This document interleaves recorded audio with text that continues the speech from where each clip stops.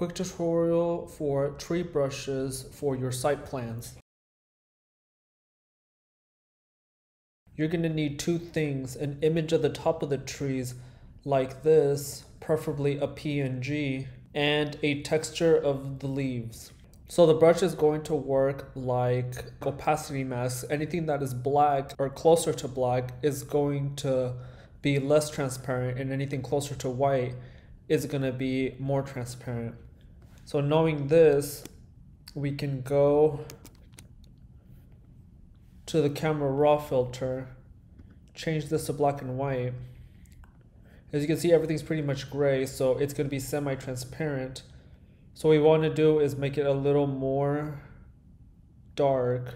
After we've made those changes, go to edit, define brush preset, and then name it whatever you want. And as you can see, it's highlighting that you have a brush now. We're then going to go to the image of the leaves, and then we're going to go to edit, define pattern, name this leaves, and then go to your composition. Next, we're going to make a new layer. As you can see, it automatically went to the brush tool and you can see the pattern of the brush that we made.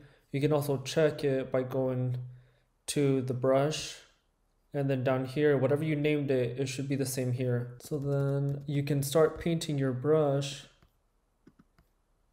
But as you can see, they look exactly the same. So in order to fix that,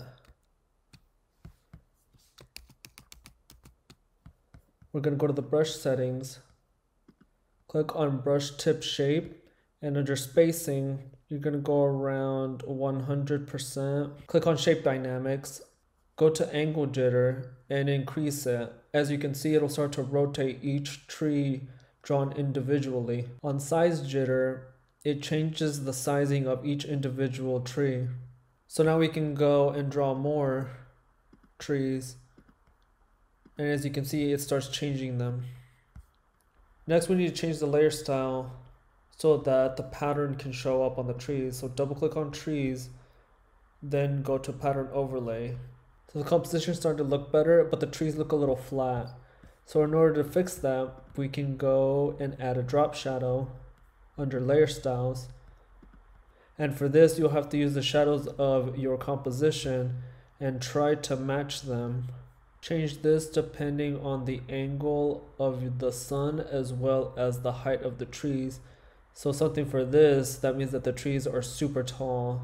But something like this, the trees are a little bit shorter. Make sure that the blend mode here is set to multiply so that the textures underneath can show up. So next we're going to go to inner shadow.